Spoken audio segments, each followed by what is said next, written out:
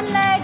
Let's see if you can hop five times. One, two, three, four, five. Okay, feet together. Jump in front of your hoop. We focus on numeracy with shapes, numbers, colours.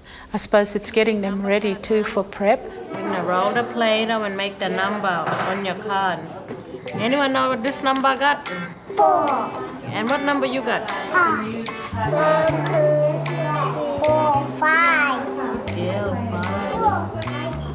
Good Keisha. Hey, Edna girl nearly finished. Oh, look at Shanna, nice. And with the shape, it's also where um, they're learning fine motor, how to use the scissors properly, cutting and and also learning different size shapes. You try that one, I'll hold the paper. Open and close, open and close. When you finish cutting it out, we are going to make a big poster with all our shapes. Keisha, what shape are you going to cut out first? Triangle. Oh, you are so clever. Can you cut that one out then? Oh, Miriam, what's this one here? Triangle. Hey, good girl.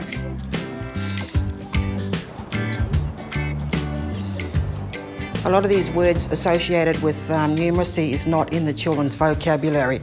So that is why these experiences are in- intentionally planned for to really um, get the children's understanding about those numeracy concepts that aren't in their language. Big, bigger, biggest, small, smaller, smallest, thin, thinner, thinnest, all of those language words. Brad, do this one. You know, you know this one? Hey, what's the shape? Star. No, Shape. no, triangle there. This one is a square. Got four side. Look, one, two, three, I will see you from the day.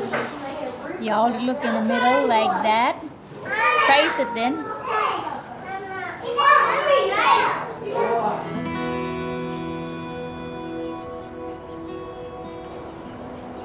When we go digging for what we, you call pipi shell, we call them chulkai here at Yarrabah. You know, the kids will look at how many chulkai they found, what shape are the chulkai, you know, and when we go collecting shells, we can associate how many shells we found, count them, what size. Did you find a small one or, you know, how many big ones did you find? So, what colour, you know? Any more fish in that water?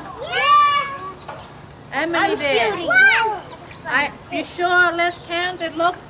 One. What come after one? Good boy.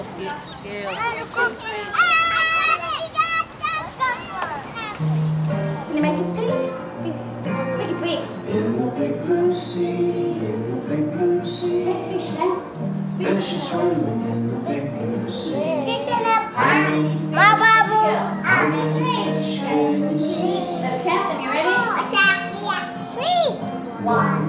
Two, three fish swim.